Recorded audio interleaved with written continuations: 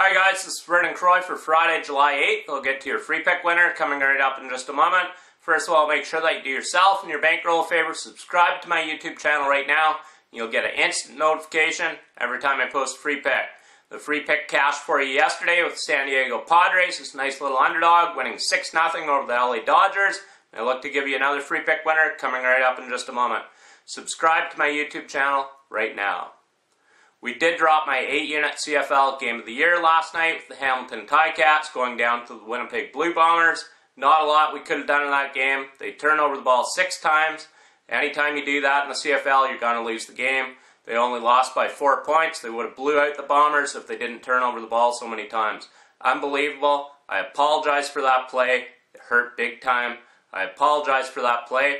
I love them, just did not work out. We're still on dominating 68% run the last 19 weeks in the CFL, making my $100 clients $3,870. We will bounce back next week. I apologize for this play.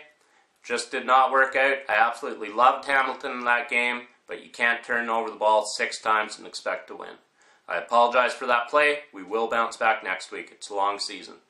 I've just released a very solid 4-unit Major League Baseball play. Goes right here Friday night. One play, one winner. Make sure you get it right now on the Premium Picks page, exclusively at DocSports.com.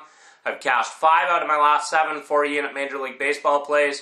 I love this play going here Friday night. Make sure you get it right now on the Premium Picks page, exclusively at DocSports.com.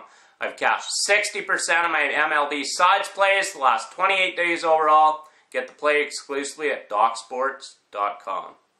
You're a free pick winner for Friday, July 8th. We're taking the San Diego Padres and LA Dodgers to go over the post total of 8. The over-under is 11 and 2 in Cashner's last 13 starts after the Padres allow two runs or less in the previous game.